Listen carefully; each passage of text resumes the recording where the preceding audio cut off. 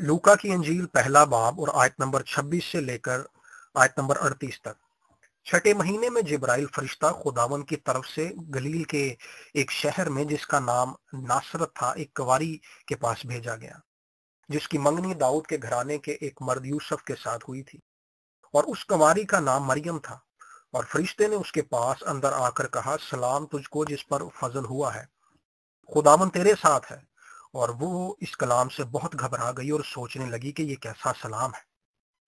फरिश्ते ने उससे कहा, ए मरियम, खौफ ना कर, क्योंकि खुदा की तरफ़ से तुझ पर फजल हुआ है। और देख, तू हामला होगी और तेरे बेटा होगा।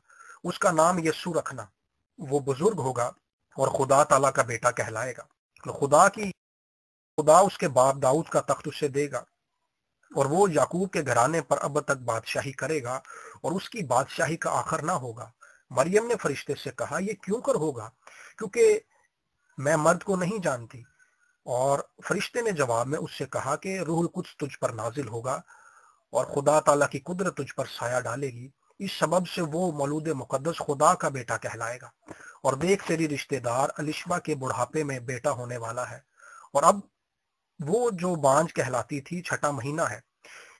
क्योंकि जो कौल खुदावन की तरफ़ से है, वो हरगिज बेतासीर ना होगा। मरियम ने कहा, देख, मैं खुदावन की बंदी हूँ और मेरे लिए तेरे कौल के मुआफिक हो। तब फरिश्ता उसके पास से चला गया। बाइबल में अभी हमने पढ़ा कि जिब्राइल फरिश्ता गलील के शहर नासरत में एक कवारी के पास भेजा गया है। गलील इसराइल के अंदर एक ऐसा इलाका है जिसका स्टेटस बहुत कम है, जिसको हमें शाही कारत की निगाह से देखा गया है। और बाइबल में एक जगह हम पढ़ते हैं कि क्या गलील से भी कोई अच्छी चीज़ निकल सकती है? मतलब ये कि इसका कोई स्टेटस नहीं है। और एक ऐसा इलाका जिसका कोई स्टेटस नहीं है इसका मतलब है कि ना उस इलाके का कोई स्टेटस है ना उस इलाके में रहने वाले लोगों को का कोई स्टेटस है उनको भी हिकारत की निगाह से देखा जाता है। सो so, इसी इलाके के अंदर एक खुदा की बंदी है एक रासबाज खातून है जो खुदा से मोहब्बत करने वाली कवारी है। और उसके पास जिब्राइल फरिश्ता भेजा गया है जिस इलाके के लोगों को हमेशा हिकारत की निगाह से देखा गया है। सो उस इलाके के एक कवारी के पास आसमान से जिब्राइल फरिश्ता एक बड़ा खास पैगाम लेकर आया है। और ये पैगाम खुदा का है। और उस फरिश्ते ने आकर कहा है कि तू हामला होगी और खुदा का बेटा तुझसे पैदा होगा। खुदावंद उसके बाप दाऊद का तख्त उसे देगा और वो याकूब के घराने पर अब तक बादशाही करेगा, वो बुज़ुर्ग होगा। सो इतनी बड़ी बातें एक हकीर इलाके की खातून से की गई हैं। इलाका हकीर है, लेकिन जो पैगाम उस उसको दिया गया है खुदा की तरफ़ से, वो पैगाम बहुत बड़ा है कि दाऊद का तख्त खुदा मरियम से पैदा होने वाली औलाद को देगा। वो बुज़ुर्ग होगा, वो खुदा तला का बेटा कहलाएगा, वो अब तक बादशाही करेगा। सो एक ज़बरदस्त पैगाम उसे दिया गया है। लेकिन इसके अंदर एक और बड़ी खास बात है, वो ये है कि मरियम ने सवाल किया कि मैं तो मर्द को नहीं जानती, मैं तो कुंवारी हूँ, मेरी तो शादी नहीं हुई। तो कैसे मेरे से औलाद पैदा हो सकती है? ये एक बहुत बड़ा सवाल है, खास तौर पर हमारे एशियन कल्चर के अंदर। जब किसी खातून को शादी से पहले औलाद हो जाए तो ये उस पर कई तरह के सवाल को उठा देता है। माशरे में उसकी इज़्ज़त, माशरे में उसके खानदान की इज़्ज़त, सब कुछ दाव पर लग जाता है। और जब फरिश्ता ये कलाम उससे कर रहा है तो एक बड़ी खतरनाक सिचुएशन जो है मरियम के सामने आ गई है कि मैं तो मर्द को नहीं जानती। और अगर वक्त से पहले मेरे औलाद हो गई, मेरे साथ क्या होगा? ये सारे सवाल जो है मरियम के जहन के अंदर है। और उसने फरिश्ते से यही बात पूछी है कि मैं तो मर्द को नहीं जानती, ये कैसे होगा? सो फरिश्ते ने जवाब दिया, रूहुल कुछ तुझ पर नाजिल होगा। खुदा तला की कुदरत तुझ पर साया डालेगी। सो एक बड़ा कलाम उससे कर दिया गया है। लेकिन खुदा का कलाम जब उससे किया गया है तो उसको पता है कि इसका रिज़ल्ट क्या हो सकता है। कई तरह के खदशात हमारे जहन के अंदर आ जाते हैं। जब खुदा हमसे कलाम कर देता है तो खुदा के कलाम के बाद वसवसे कई बार हमारे जहन के अंदर आना शुरू हो जाते हैं। कई दफ़ा वो कलाम जिसको खुदा हमारे साथ कर देता है, जैसे उसने मरियम के साथ कर दिया, एक बड़ी क्रिटिकल सिचुएशन हमारे आगे रख देता है, बड़ी परेशान कुल सिचुएशन हमारे सामने रख देता है कि जब ये होगा तो फिर क्या होगा, मैं किस तरह से लोगों को फेस करूँगी, मैं किस तरह से जवाब दूँगी, इसका जवाब क्या होगा, मैं किस तरह से सारी चीज़ों को फेस करूँगी। सो ये सारी सिचुएशन जो है, ये मरियम के सामने आ गई है। लेकिन मरियम ने यहाँ पे एक बड़ा ज़बरदस्त फैसला किया है।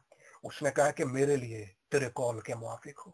उसने रिज़ल्ट की परवाह नहीं की उसको उसने अपने वसवसों का शिकार अपने आप को होने नहीं दिया। उसने रिज़ल्ट की परवाह नहीं की। उसने बल्कि खुदा के कलाम को इज़्ज़त दिया कि खुदावन ने जो फैसला मेरे लिए कर लिया है, खुदावन ने जो इरादा मेरे लिए कर लिया है, खुदावन ने जो मनसूबा मेरे लिए बाँध लिया है, मैं उसमें चलूँगी, मैं नतीजे की परवाह नहीं करूँगी।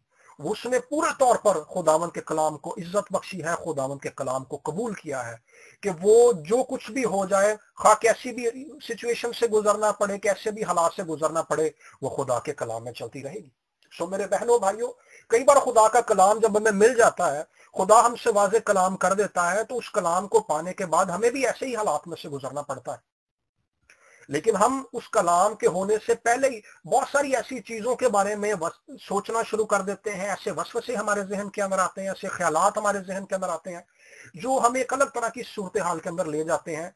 लेकिन हमने मरियम से जो कुछ सीखा है, उसने उन बातों की परवाह नहीं की, बल्कि उसने कलाम को कबूल किया और जैसे उसने कलाम को कबूल किया, खुदा ने उन सारी चीज़ों को उसके सामने से चेंज कर दिया। और दूसरी तरफ़ हम देखते हैं कि दूसरी तरफ़ जो है अलिशबा के बारे में मरियम को बताया गया है कि अलिशबा जो बुढ़ापे में है, उसके भी औलाद होने वाली है।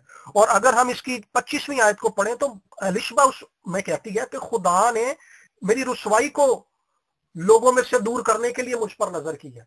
यानी उसके औलाद हो रही है, बुढ़ापे के अंदर तो खुदा उसकी रसवाई को उससे दूर कर रहा है। दूसरी तरफ़ मरियम है, जिसके औलाद हो रही है, और वो रसवाई की तरफ़ जा सकती है।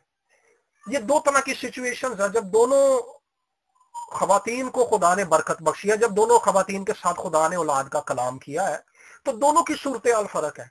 सो कई बार हम सोचते हैं कि हम इनमें से किसी एक सिचुएशन को पे गौर करते हैं कि जब खुदा कलाम करता है तो खुदा रसवाई को दूर कर देता है। बिल्कुल ऐसा होता है। बाइबल में अलिशबा के लिए ऐसा ही हम पढ़ते हैं। लेकिन दूसरी तरफ़ मरियम है, जिसको रसवाई का खदशा है, जिसको रसवाई का डर है। लेकिन खूबसूरत बात इसमें यह है कि दोनों खातन ने दोनों मुकदस खातन ने खुदावन के कलाम को अपनी ज़िंदगी के अंदर कबूल कर लिया है। और मरियम ने जो आखिरी बात कही है, ये बड़ी खूबसूरत है। ये हर एक ईमानदार को कहनी चाहिए कि मेरे लिए तेरे कॉल के मुआफिक हो। सो ये एडवेंट जो है, ये खुदा की मर्ज़ी को अपनी ज़िंदगी में कबूल करना है।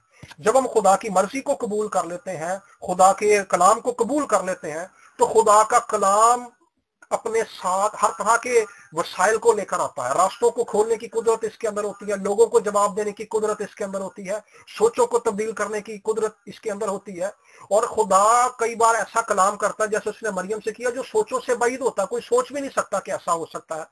सो जो कुछ मरियम नहीं सोच सकती थी, खुदा वो करने वाला है। और जो कुछ जो वसवसे उसके जहन के अंदर थे और रसवाई का जो खौफ उसके जहन के अंदर था उसको किस तरह से टैकल करना है ये मरियम को तो नहीं पता था लेकिन उसने खुदा की मर्ज़ी को कबूल किया लेकिन खुदा को पता था वो इन सारी चीज़ों को कैसे हल करेगा। सो so, मेरे बहनों और भाइयों ये एडवेंट ये क्रिसमस सीज़न खुदा की मर्ज़ी को अपनी ज़िंदगी के अंदर कबूल करने का नाम है क्योंकि खुदा अपनी मर्ज़ी को ईमानदारों की ज़िंदगी के अंदर रखता है ताकि ईमानदारों की ज़िंदगी में कलीसियाओं में घरानों में खादमीन की ज़िंदगी में अपने बड़े काम को अंजाम दे।